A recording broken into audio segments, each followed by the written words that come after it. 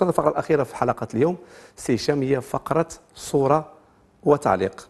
الصورة الأولى اللي غنشوفوا الآن هي رئيس الجامعة الملكية المغربية فوزي القجع رسالة لرئيس الجامعة سي هشام فصراحة أنا تنشكر هذا السيد بزاف لأنه واحد الغيرة على البلاد زعما ما, ما تصورش وعنده الرؤيه لأنه كنا تكلمنا هذه السنين على هذا الفوتسال وقال لي اللي راه أنا اللي متبع وعارف la tendance ديالو عارف الحب ديال الجماهير ديالو. ديك الساعة ما كانش تيتبعنا حتى شي واحد.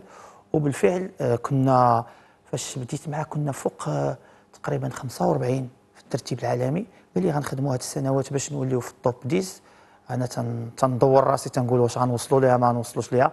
اليوم وليت كنلقى مقالات كنقول المغرب المنتخب المغربي داخل القاعه تراجع للرتبة السابعة. تضحكني هذه الكلمة تراجع رحنا السابعين عالميا على على على على رتبة واحدة. أيوة. فصراحة